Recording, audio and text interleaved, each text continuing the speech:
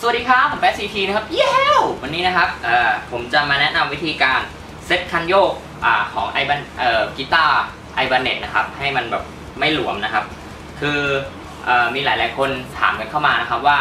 เออเนี่ยไอบันเน็ตของผมเนี่ย พวกซีรีส์ GO เนี่ย GRG เนี่ยคันโยกมันหลวมมากเลยทำยังไงดี คือน้องเขาหารูที่จะขันคันโยกให้มันแน่นไม่เจอนะครับ อ่า ก่อนอื่นครับ ตอนเราซื้อไปเนี่ยมันจะมีชุดพวกเหล็กขันคอมาให้นะครับ เป็นชุดของมันอ่าอันนี้มันจะไซส์เล็กสุดที่มันให้มานะครับ เป็นรูปตัว L อ่าเล็กไซส์เล็กมากเลย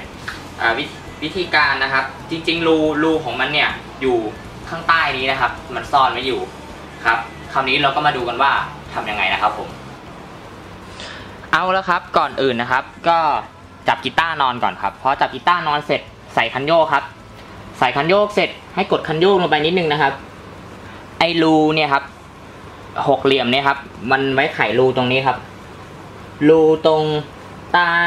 คันโยกนะครับ แต่ว่าถ้าเราไม่กดคันโยกเนี่ย มันจะใส่ไม่ได้นะครับ เราต้องกดคันโยกไว้ให้คันโยกมันให้บิดมันยกขึ้นมานะครับ แล้วจากนั้นมันจะเห็นรูครับ แล้วก็เอาเหล็กไซส์นี้นะครับ ใส่เข้าไปแล้วก็ไขครับ ไขปึ๊บปึ๊บปึ๊บปึ๊บคราวนี้คันโยกก็จะแน่นนะครับ อ่า ถ้ามันแน่นไปก็คลายนิดนึงนะครับ คลายไปนิดนึงคลายแล้วคันโยกก็ดึงออกง่ายนะครับ แค่นี้เองครับ ปัญหาของน้องๆก็จะหมดไปนะครับ ผม เอาละครับ อ่าครับ ก็เห็นวิธีการเซตกันไปแล้วนะครับ ก็หวังว่าน่าจะเป็นประโยชน์กับผู้ที่ใช้อ่าไอบันเน็ตอยู่นะครับ ผมก็นะครับ วันนี้ก็มาแนะนำกันเพียงเท่านี้ครับพบกันใหม่คลิปหน้าครับ สวัสดีครับ เย้